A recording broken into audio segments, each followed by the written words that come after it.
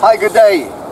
A species we haven't seen for quite a while is uh, the vine snake, Thelotornis capensis. And it's here in this tree, believe it or not. Not sure if you're able to see it, but I'm just going to grab it. I'll show you and tell you a few things about it.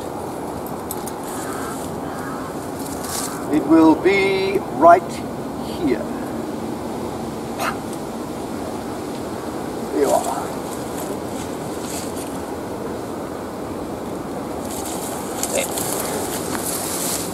This is Thelotornis capensis, the savanna vine snake, or also known originally as Oates vine snake. Now you'll notice this one is, is fairly aggressive, and it's arguably the most toxic snake in Africa. You can see she's, he's trying to bite me here. It's a rear fang snake with a very inefficient venom delivery system, so not many people get bitten by these. Uh, the last death on one of these, as far as I'm aware, was some many years ago. But you can see it's a highly camouflaged snake. It looks the same color as the branches. There, if you can see it against the branches. And these snakes, mostly what they do, they'll climb into a low bush or low tree like this. And they will extend the first third of the body, just like this one is doing, and remain absolutely motionless for hours and hours and hours. One of the distinguishing characteristics about this snake, there you can see the top of the head, there's an inverted Y shape, brown mark on top of the green head. The other distinguishing characteristic is the elongated head and the red tongue with the black. Another thing you'll notice about this, this snake, it's inflating the first part of its body. That's just telling me it's agitated. It's just saying to me, go away.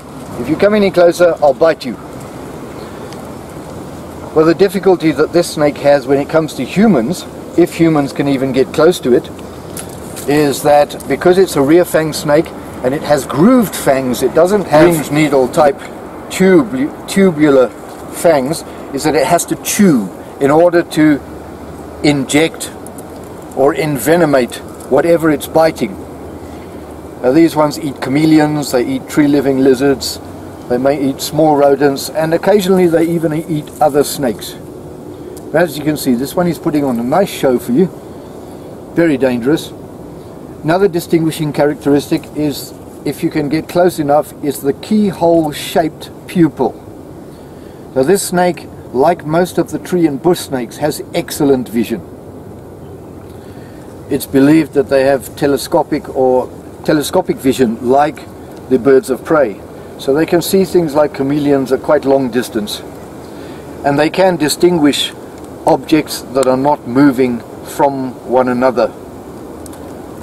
So I'm going to now stop or cease agitating this snake. I'll let it go somewhere else and it will hopefully quietly go on its way.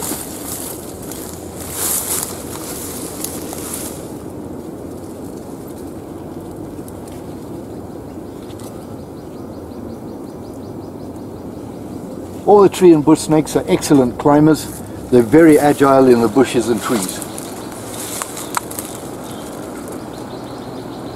There he goes. Thank you.